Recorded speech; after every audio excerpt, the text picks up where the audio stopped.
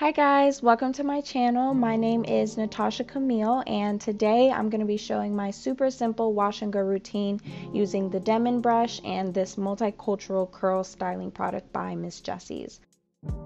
I'll also be showing how I diffuse and refresh it each morning to keep my curls looking moisturized and defined but still really big and fluffy how I like it.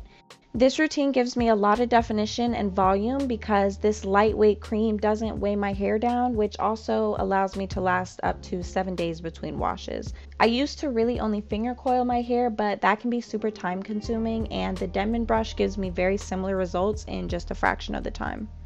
So I wanted to start off by showing my natural air dried hair with no product in it just to be transparent and show the difference that this styling method really makes in my curl pattern. Usually I would just do this routine right out of the shower since my hair would already be soaking wet but since I let it dry first to show you my natural hair I'm just going to re-wet my hair using my continuous spray bottle, detangle it and then go ahead and apply the cream. I start off one section at a time and move my way up to make sure that all of my layers get that hair product in it and don't weigh each other down. I only apply a little bit of the cream to each section because a little goes a long way and since I also use it every morning to refresh my hair, I try not to use too much on the very first day. There's a few tips I like to follow to make sure I get the best results from the Denman brush. First, I comb through the section to detangle it and ensure that the product is evenly distributed to all of my hair.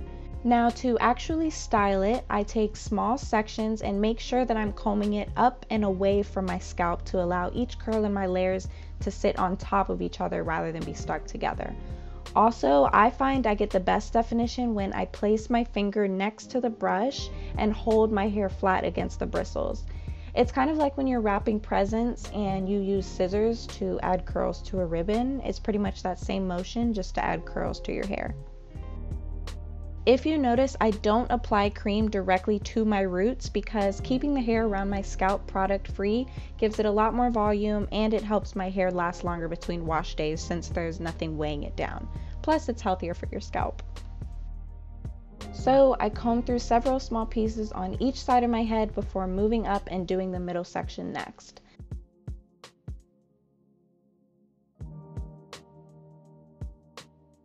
Again, I start off by combing the whole section to distribute the product, then I separate it and comb the styler through one piece at a time.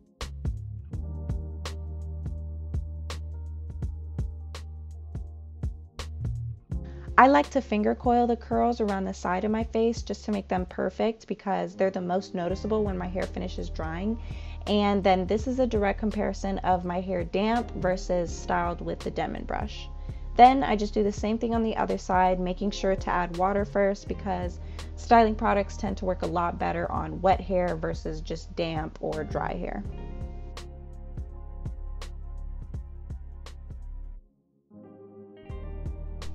The last section is the top of my head and I start with my bangs by combing the hair down, curling the brush inwards at the end, and then scrunching it to my roots to further promote a curl pattern. I brush all of the sections at the top of my head forwards so that my hair dries with a lot of volume on the top to give it that round shape.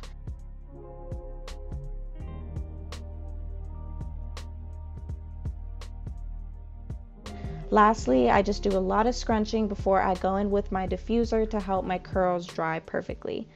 Most of the time I air dry, but when I want extra definition or just want to speed up the process, I use this Chi blow dryer and attach the diffuser onto the end. Then I go in and dry my hair in upwards motions, making sure to start drying from the ends and then flipping my hair sideways and forward to get all of my curls dry.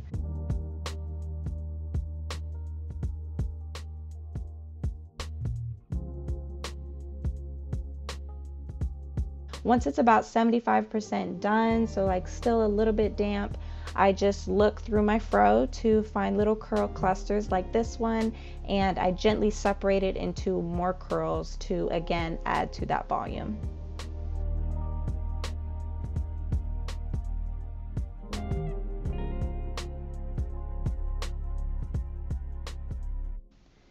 So this is my hair the next day once it's 100% dry and since it has a lot of definition and not much frizz, it's not super big but it does still look neat.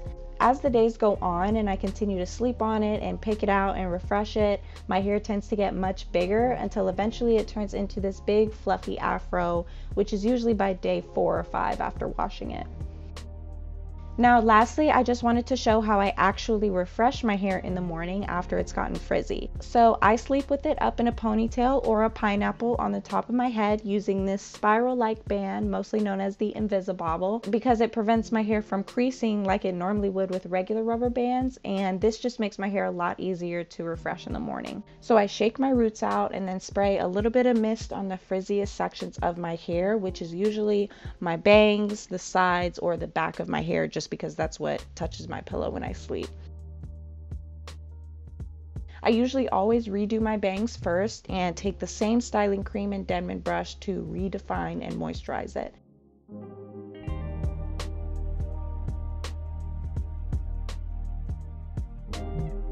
Then I do the same to any other frizzy section around my face, again only focusing on the ends.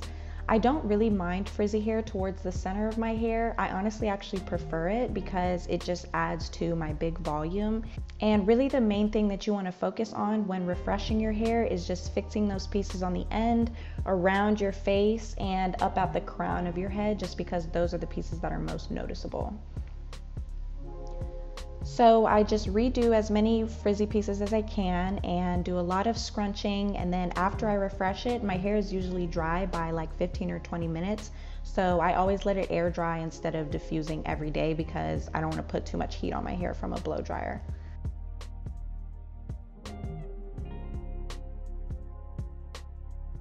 This is day seven here, so it's been a whole week now since I first did my wash and go, and I really think this Denman brush and Miss Jessie's combo is the reason my hair can last so long and still look, you know, presentable. So you should definitely give it a try if you're looking for a fast, simple, and lightweight routine when you can just quickly style it and then not have to worry about it getting messy or greasy for several days.